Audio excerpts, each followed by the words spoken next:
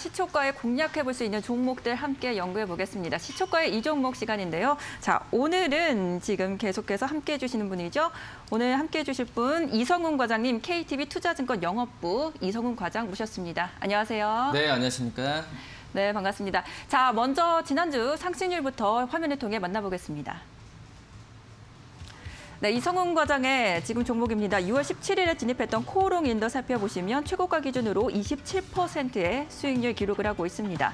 이어서 아이센스 진입을 했는데요. 3만 800원에 편입을 해서 현재 최고가 기준으로 3.41% 상승률 보여주고 있습니다. 네, 이어서 지난주에 진입했던 종목 하이브 살펴보겠습니다. 현재 최고가 기준으로 0.63% 기록하고 있습니다. 네, 지난 종목 가운데 지금 하이브 리뷰를 해보도록 하겠습니다. 어, 하이브가 그래도 지금 전일 종가 기준으로 6%의 하락세를 보여주고 있습니다. 그때 말씀하셨을 때 뭐 딱히 악재가 될 만한 게 없는 종목이다 이렇게 말씀해 주셨는데 뭐 전반적으로 엔터 관련주들이 좀 하락세를 보이기도 했고요. 이거 어떻게 좀 수정 전략이 있으실까요? 어, 수정 전략은 뭐 따로 없고요. 우선 계속 그 보유 관점 말씀을 좀 드리도록 하겠고, 이 말씀하셨듯이 엔터 업종이 좀 최근에 좀 상승세에 의한 그 이번 주에 약간의 좀 조정을 좀 받고 있는데 뭐 저평가에서 매수를 한다는 과정보다도 지금 현재 이 엔터 업종 같은 경우에는 하반기 때 플랫폼에 대한 실적 기대감이 점점 커지고 있습니다. 어, 그런 상태에서 뭐 최근에도 어제도 좀 많이 올랐지만은 어, 어제 뭐 JYP 엔터나 여러 가지 종목들 같은 경우가 어, 어떤 본업에 대한 아티스트에 대한 복귀 기대감이 점점 커지고 이거 외에 플랫폼에 대한 시적 기대감도 나오는 상태이기 때문에 어, 조정도 거의 뭐 안 받았다고 생각이 되고 있어요. 상승세에 비하면 그렇기 때문에 보유 관점 말씀드리도록 하겠습니다. 네, 뭐 이미 많이 오른 만큼 살짝의 숨고르기 정도로 생각을 하시고 보유 관점 유지하시면 좋을 것 같습니다. 자, 이어서 그러면 이제 오늘 종목 공개를 할 텐데요. 어떤 섹터 준비하셨나요? 어, 게임 업종 좀 말씀을 드릴 텐데요. 이 올해 그 상반기 때 플랫폼 관련주들의 상승세가 굉장히 많이 좋아졌거든요. 특히 좀뭐 엔터도 그렇고 뭐 네이버나 카카오도 그렇고 이 플랫폼 관련주들에 대한 그 상승세가 시장 대비 굉장히 좀 좋았던 부분인데 하지만 이 게임주들 같은 경우가 이 플랫폼 플랫폼 섹터 안에서도 이 소외됐던 그런 부분이라고 좀 말씀을 드릴 수 있습니다. 뭐 하지만 이번 달 들어서 이번 달에 들어서는 이 플랫폼주 안에서도 상승세가 굉장히 좀 눈에 띄게 나타난다라고 좀 볼 수 있겠는데 특히 이제 게임주를 포함하는 ETF 상품 봤을 때도 우리나라 중에서 10개 중에서도 4개 정도의 ETF, 이 게임즈를 담은 ETF의 상승세가 ETF 전체적인 수익률보다 굉장히 높았던 음. 상황으로 가고 있다라고 좀 볼 수 있겠고요. 특히 이제 이런 상승세 이유 중에 하나가 어, 우선 그 카카오 게임즈의 네. 가장 큰 선전이 좋다라고 좀 볼 수 있겠는데 지금 현재 뭐 코로나로 인한 실내에서 게임하는 그런 인원들이 늘어나는 부분은 어, 약간의 좀 게임주들한테 그 전망을 봤을 때 거시적이라고 좀 볼 수 있겠고요. 이 상반기 때보다도 하반기 때의 이 게임주들의 라인업에 대한 부분은 굉장히 좀 큰 상태이기 때문에 상반기보다 하반기 때 게임주에 대한 상승세는 좀 기대를 해도 괜찮지 않을까라고 좀 판단되고 있고 그다음에 이 펄어비스가 이 중국 쪽에서 판으로 받은 이후부터 이 게임주에 대한 이 해외 쪽에서 실적에 대한 기대감이 점점 커지는 상태라고 좀 볼 수 있습니다. 뭐 그러기 때문에 이 게임주에 대한 그 게임주의 이번 달 들어 상승세를 보여주는 어, 부분에 있어서 상승 랠리는 이 하반기 전체적인 전망을 본다고 한다면 계속 이어질 가능성이 좀 있다라고 좀 판단되고 있고요.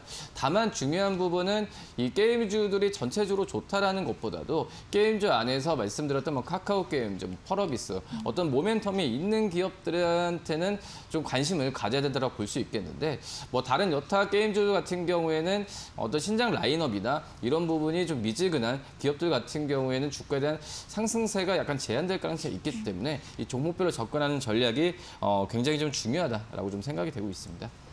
네, 음, 저희가 어제도 시초가 이 종목을 통해서 게임즈 관련된 종목을 봤습니다. 어, 게임즈가 확실히 지금 강세 속에 있는데 지금 하반기에 신작에 대한 모멘텀을 있는 종목을 고르는 게 중요하다. 네. 이렇게 말씀해 주셨어요. 오늘 과장님은 어떤 종목을 선택하셨는지 궁금합니다.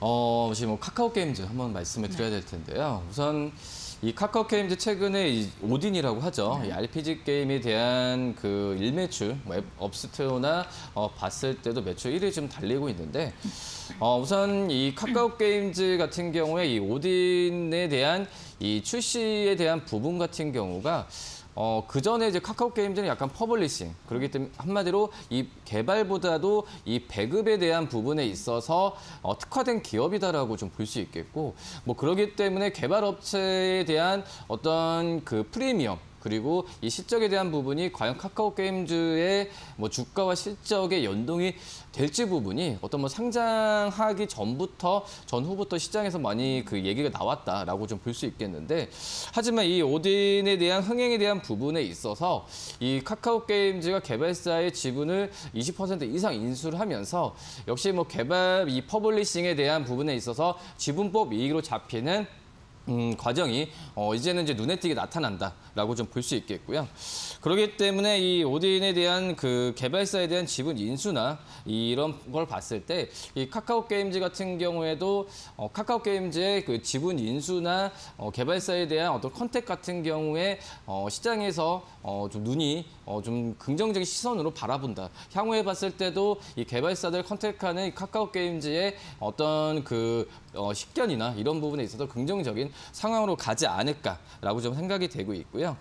어, 우선 한마디로 이 게임 관련 회사를 잘 선별하는 능력에 대한 부분에서 탁월한 부분이 이제 눈에 띄게 어, 좀 나타나는 상황이지 않을까라고 좀 판단되고 있습니다. 지금 현재 하반기 때도 10개 정도의 라인업에 대한 부분에 있어서 좀 계획이 돼 있고 어, 우선 내년 같은 경우에도 어, 향후에 그 전에 1년, 2년 동안 준비했었던 신작 라인업에 대한 부분에 있어서 어, 지금 현재 그 출시에 대한 기대감이 좀, 좀 커지기 때문에 이 오딘에 대한 이, 이 신작에 대한 기대감에 대한 부분을 계속 이어갈 가능성이 있지 않을까라고 생각이 되고 있고요.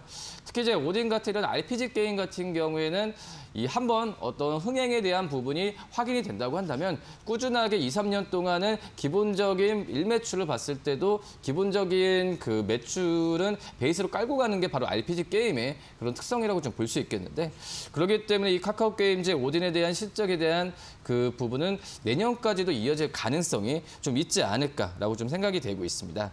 그렇기 때문에 최근 주가가 올랐다고 하더라도 상승 여력은 충분히 더 있다라고 좀 판단되고 있고요.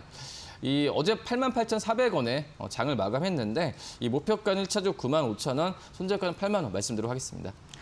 네, 오늘 시초가의 공략가의 종목 지금 카카오 게임즈 제시를 주셨습니다. 지금 만약 고점에 대한 부담감들이 분명히 있을 것 같아요. 카카오 게임즈가 이번 달에만 50% 넘게 상승을 했지만 앞으로의 상승 여력이 더 있다라고 판단을 해주셨습니다. 그 근거로는 현재 카카오 게임즈가 약점이라고 할까요? 그렇게 꼽혔던 게 유통을 하는 회사다라는 부분이었는데 개발사의 지분을 인수함으로써 그런 부분들을 상쇄를 시켰고 앞으로 하반기에도 신작에 대한 기대감들 계속해서 있을 것이 다. 이렇게 평가를 해주셨습니다. 현재 목표가 9만 5천 원, 손절가 8만 원 이렇게 제시를 해드리겠습니다. 네, 오늘 말씀 잘 들었습니다. 네, 감사합니다.